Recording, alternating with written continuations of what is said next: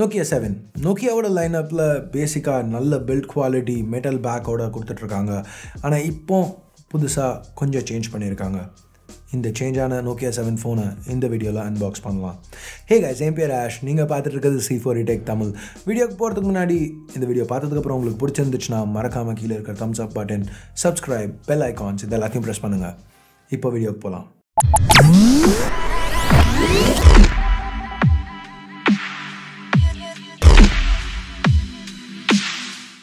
So இதான் Nokia செவனோட box சுற்றி பார்த்தீங்கன்னா கொஞ்சம் பேசிக் ஸ்பெக்ஸ் கொடுத்துருக்காங்க. எல்லாம் சைனீஸில் இருக்குது நாங்கள் சைனாலேருந்து இந்த ஃபோனை இம்போர்ட் பண்ணதுனால.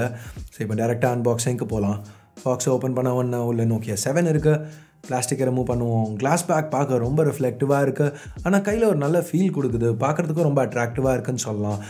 அதுக்கு நம்ம திருப்பி வருவோம். இப்போதைக்கு பாக்ஸில் வேறு என்ன இருக்குன்னு பார்த்தா நோக்கியா ஒரு பிளாஸ்டிக் கிளியர் கேஸ் கொடுத்துருக்காங்க இந்த ஃபோனோட ஸோ மைனர் ஸ்க்ராச்சஸ்க்கெலாம் நம்ம பயப்பட தேவையில்லை. க்ரிப்பையும் கொஞ்சம் இம்ப்ரூவ் பண்ணோம். அதுக்கு அடுத்து சிம் எஜெக்டர் டூல் சில புக்லெட்ஸ் எல்லாமே திருப்பி சைனீஸில் இருக்குது சார்ஜர் இது twelve volts one point five amps ரேட்டிங்கோட வருது. ஃபைனலாக ஒரு டைப் சி கேபிள் இப்போ திருப்பி நோக்கியா செவனுக்கு வருவோம். இது பூட் பண்ணுவோம்.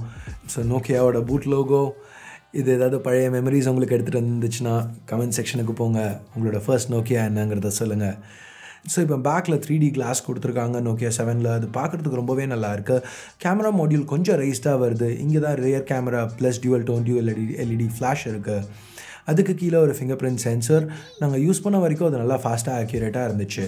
அதுக்கும் கீழே பார்த்தீங்கன்னா நோக்கியா பிராண்டிங் இருக்குது மற்ற பிளேஸ்மெண்ட்ஸ்னு பார்க்கல சுற்றி ஒரு மெட்டல் ட்ரிம் கொடுத்துருக்காங்க. டாப்பில் ஒரு three and half millimetre headphone jack லெஃப்ட்டில் ஒரு ஹைப்ரிட் டியூவல் சிம் ஸ்லாட் பாட்டமில் ரெண்டு ஆண்டனா பேண்ட்ஸ் அப்புறம் அதுக்கு நடுவில் primary speaker primary microphone USB type C port ரைட்டில் பவர் வால்யூம் பட்டன்ஸ் ஸோ இந்த பட்டன்ஸ் நல்லா தான் இருக்குது ப்ரெஸ் பண்ணுறதுக்கு பட் கொஞ்சம் ரிசர்ச்டாக இருக்குது அதாவது ரொம்ப சைடை ஒட்டி இருக்கிறதுனால சில நேரம் ஹிட் பண்ணுறதுக்கு கஷ்டமாக இருக்குமோன்னு நினைக்கிறோம். திருப்பியும் யூஸ் பண்ணி பார்த்துட்டு ஃபுல் ரிவ்யூவில் இதை பற்றி இன்னும் பேசலாம். ஓவரால் பில்ட் குவாலிட்டின்னு பார்க்கல இந்த மெட்டல் எட்ஜஸ் பின்னாடி உள்ள ரவுண்டட் பேக் இதெல்லாம் இருக்கிறதுனால இன்ஹேண்ட் ஃபீல் ரொம்பவே நல்லா இருந்துச்சு. ஓவரால் டிவைஸ் சின்னதாக இருக்கிறதுனால சிங்கிள் ஹேண்டட் யூஸ்க்கு ரொம்பவே ஆப்டிமலாக இருக்கும்னு எதிர்பார்க்குறோம். ஸோ இப்போ திருப்பி டிவைஸோட ஃப்ரண்ட்டை பார்ப்போம். இங்கே டாப்பில் selfie camera sensors year piece அப்புறம் நோக்கியா பிராண்டிங் இருக்குது அதுக்கு கீழே ஒரு அஞ்சு புள்ளி ரெண்டு inch IPS LCD panel nineteen twenty by ten eighty ரெசல்யூஷனோட திருப்பியும் இந்த ஃபோன்லேயும் Nokia on screen keys use பண்ணியிருக்காங்க நோக்கியா சிக்ஸ் டுவெண்ட்டி எயிட்டீனில் மாதிரி. இப்போ நோட்டீஸ் பண்ணி பார்த்தீங்கன்னா இது ஒரு சிக்ஸ்டீன் பை நைன் பேனல் எல்லா ஃபோன்ஸ்லேயும் வர மாதிரி எயிட்டீன் பை நைன் இங்கே நோக்கியா கொடுக்கல.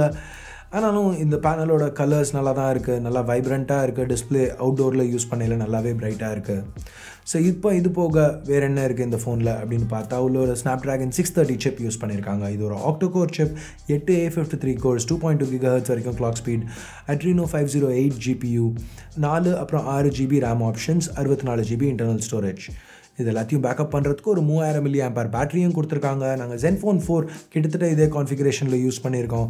அதை பேஸ் பண்ணி வச்சு பார்க்கல நோக்கியா செவனில் பேட்டரி லைஃப் நல்லாவே இருக்கும்னு எதிர்பார்க்குறோம். அதுமாரியும் நீங்கள் சார்ஜ் பண்ணணுன்னா ஃபாஸ்ட் சார்ஜர் இருக்குது ஃபாஸ்ட் சார்ஜிங் சப்போர்ட் இருக்குது ஸோ ஓரளவுக்கு ஃபாஸ்ட்டாகவே சார்ஜ் ஆகணும். கேமரான்னு பார்க்கல. பின்னாடி ஒரு பதினாறு mega pixel camera F one point eight aperture one point one two micron size பிக்சல்ஸோடு வருது. இங்கே கால் சைஸ் லென்ஸ் யூஸ் பண்ணியிருக்காங்க அப்புறம் ஃபேஸ் டிடக்ஷன் ஆட்டோ ஃபோக்கஸும் இருக்குது இந்த கேமராக்கு. ஃப்ரண்ட்டில் பார்த்தீங்கன்னா ஒரு அஞ்சு மெகா பிக்சல் கேமரா இதுக்கு F two point two aperture plus பெரிய one point four micron size pixels so low லைட்டில் இந்த செல்ஃபி கேமரா நல்லா பர்ஃபார்ம் பண்ணணும்னு எதிர்பார்க்குறோம். பிக்சர் குவாலிட்டின்னு வரையில் நீங்கள் பார்த்துட்டு இருக்க சாம்பிள் ஷாட்ஸ் எல்லாமே நாங்கள் ஆஃபீஸ் சுற்றி குவிக்காக எடுத்தது இது எப்படி வந்திருக்கு அப்படின்னு நீங்கள் நினைக்கிறீங்க? கேமராஸ் இதில் எப்படி இருக்குன்னு நீங்கள் நினைக்கிறீங்க? உங்கள் கருத்துக்களை கீழே இருக்கிற கமெண்ட் செக்ஷனில் சொல்லுங்கள் அண்ட் அஃப்கோர்ஸ் நோக்கியா அவங்க நோக்கியா எயிட்டில் வந்து போத்தி ஃபீச்சரையும் இங்கே இன்க்ளூட் பண்ணியிருக்காங்க. ஸோ ஃப்ரண்ட் பேக் கேமராஸ் ரெண்டுத்தையும் வச்சு ஒரே நேரத்தில் ஃபோட்டோஸ் எடுக்க முடியும். ஸோ இதுக்கு பதிலாக நோக்கியா ஒரு டியூவல் கேமரா கொடுத்துருந்தா நல்லாயிருக்கும்னு நினைக்கிறீங்களா? இந்த தடவை உங்கள் கருத்துக்களை இந்த போலில் செலக்ட் பண்ணுங்கள் ஸோ அடுத்து இப்போ சாஃப்ட்வேர்னு பார்க்கல. நோக்கியா இந்த தடவை ஒரு மேனுவல் மோட் இன்க்ளூட் பண்ணியிருக்காங்க கேமரா ஆப்பில் அது நல்லாவே ஒர்க் ஆச்சு. ரியர் கேமராவால் ஃபோர் கே வீடியோஸும் ஷூட் பண்ண முடியும். நெகட்டிவ்ஸ்னு பார்த்தா இந்த கேமராவுக்கு இஏஎஸ் ஓஎஸ் ரெண்டுத்துக்குமே சப்போர்ட் கிடையாது. ஆனால் ஒரு நல்ல ஃபீச்சர் இந்த கேமராவில் ஓசோ ஆடியோ சப்போர்ட் கொடுத்துருக்காங்க.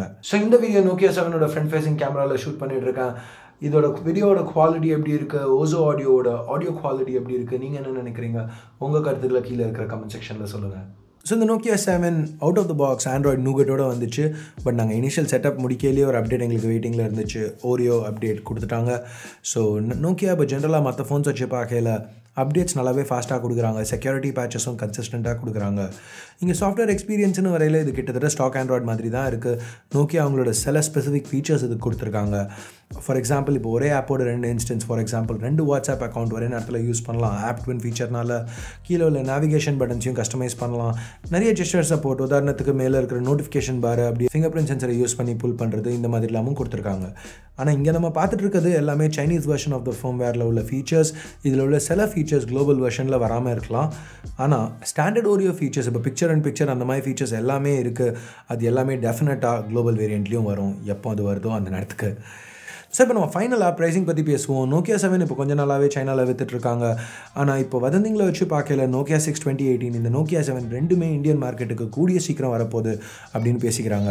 ஸோ சைனீஸ் லான்ச் ப்ரைஸஸை வச்சு பார்க்கல. நாலு ஜிபி வேரியன்ட் சைனாவில் ரெண்டாயிரத்தி நானூற்றி தொண்ணூத்தொம்பது யுவானுக்கும் ஆறு ஜிபி வேரியன்ட் சைனாவில் ரெண்டாயிரத்தி அறுநூற்றி தொண்ணூத்தொம்பது யுவானுக்கும் விற்கிறாங்க அது நம்ம இந்தியன் கரன்சிக்கு கன்வெர்ட் பண்ணையில் இருபத்தி நாலாயிரத்து ஐநூறுரூவா இருபத்தி ஆறாயிரத்து ஐநூறுரூவா ஸோ இந்த ப்ரைஸிங் அதிகம்தான். ஆனால் நோக்கியா எப்போவுமே இந்தியாவில் ஒரு ஃபோன் விற்கல ஃபார் எக்ஸாம்பிள் நோக்கியா எயிட் இந்தியாவுக்கு எடுத்துகிட்டு வரையிலையும் சைனீஸ் ப்ரைஸிங்கோட இங்கே ரொம்பவே கம்மியாக ப்ரைஸ் பண்ணியிருந்தாங்க. இன்ஃபேக்ட் குளோபல் ப்ரைஸிங்கில் இந்தியாவில் தான் அவங்க இருக்கிறதுலே கம்மியாக ப்ரைஸ் பண்ணியிருந்தாங்க. நோக்கியா சிக்ஸும் இந்தியாவுக்கு வரையில் சைனீஸ் லான்ச் ப்ரைஸோட ரெண்டாயிரரூவா கம்மியாக தான் வந்துச்சு. ஸோ இந்த ஒரு ரெண்டாயிரம் மூவாயிரம் ரூபாய்க்கு இது கம்மியாக வந்துச்சுன்னா கூட ஒரு எயிட்டீன் பை நைன் பேனல் இல்லாமல் டியூவல் கேமராஸ் இல்லாமல் வெறும் நோக்கியா பிராண்டிங்கை வச்சு இந்த ஃபோனை வாங்குறதுக்கு நீங்கள் இன்ட்ரெஸ்டடாக இருப்பீங்களா? இல்லைனா உள்ள உள்ள அந்த camera manual mode camera options plus IP five four splash resistance அந்த ஃபீச்சர்ஸ்லாம் இந்த ஃபோனை வாங்குறதுக்கு வர தாக்குதா உங்கள் மைண்டில் நீங்கள் என்ன நினைக்கிறீங்க? உங்கள் கருத்துக்களை கீழே இருக்கிற கமெண்ட் செக்ஷனில் சொல்லுங்கள் ஸோ இந்த டியூன் உங்களுக்கு நிறைய மெமரிஸ் எடுத்துகிட்டு வந்துச்சுன்னா இந்த வீடியோவை ஷேர் பண்ணுங்கள் மறக்காமல் கீழே தம்ஸ் அப் பட்டனை ப்ரெஸ் பண்ணுங்கள் இன்னமும் உங்களுக்கு இந்த வீடியோ பிடிக்கலனா என்ன பண்ணணும்னு உங்களுக்கு தெரியும். பட் பிடிச்சிருந்துச்சுன்னா கீழே இருக்கிற சப்ஸ்கிரைப் பட்டனையும் ப்ரெஸ் பண்ணுங்கள் ஏற்கனவே சப்ஸ்கிரைப் பண்ணியிருந்தீங்கன்னா அது பக்கத்தில் ஒரு பெல் ஐக்கான் இருக்கும். அதையும் ப்ரெஸ் பண்ணுங்கள் அப்போ தான் நாங்கள் போடுற ஒரு ஒரு வீடியோஸ்க்கு உங்களுக்கு ஃபஸ்ட் அப்டேட்ஸ் வரும். ஸோ அவ்வளோதான் இந்த வீடியோக்கு அடுத்த வீடியோவில் உங்களை திருப்பி சந்திக்கிற வரைக்கும் என் பேர் ஆஷ். நீங்கள் பார்த்துட்டு இருக்குது C four tech e Tamil. Have a nice day bye